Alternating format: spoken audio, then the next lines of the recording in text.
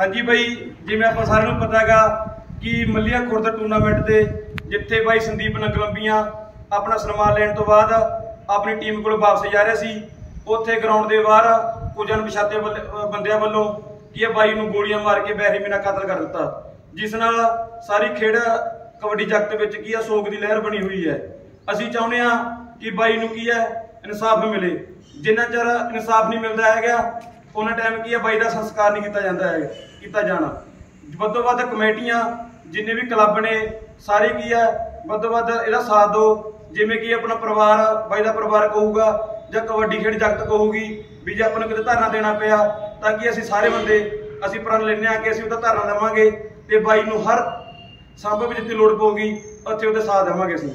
ਕਿਉਂਕਿ ਜਿੱਥੇ ਬਾਈ ਕਬੱਡੀ ਖੇਡਦਾ ਸੀ, ਪਸੀਨਾ ਡੁੱਲਦਾ ਸੀ, ਉੱਥੇ ਬਾਈ ਦਾ ਅੱਜ ਕੀ ਆ, ਖੂਨ ਡੁੱਲੇਗਾ ਇਹ ਅੱਜ ਕੱਲਾ ਬਾਈ ਸੰਦੀਪ ਨੰਗਲੰਬੀਆ ਨਹੀਂ ਮਰਿਆ ਇਹ ਇੱਥੇ ਅੱਜ ਸਾਰੀ ਕਬੱਡੀ ਖੇਡ ਜਗਤ ਮਰ ਗਈ ਬਈ। ਅਸੀਂ ਚਾਹੁੰਦੇ ਹੈਗੇ ਕਿ ਵੱਧੋ ਵੱਧ ਸਾਰੇ ਵੀਰ ਜਿੰਨੇ ਕਬੱਡੀ ਨੂੰ ਦੇਖਦੇ ਨੇ, ਕਬੱਡੀ ਨੂੰ ਖੇਡਦੇ ਨੇਗੇ ਜਾਂ ਹੋਰ ਵੀ ਕਬੱਡੀ ਨਾਲ ਜੁੜੇ ਹੋਏ ਨੇਗੇ, ਸਾਰੇ ਵੀਰ ਵੱਧੋ ਵੱਧ ਕੀ ਹੈ, ਬਾਈ ਦਾ ਸਾਥ ਦਿਓ, ਬਾਈ ਨੂੰ ਸਾਥ ਦਿਵਾਓ। ਧੰਨਵਾਦ।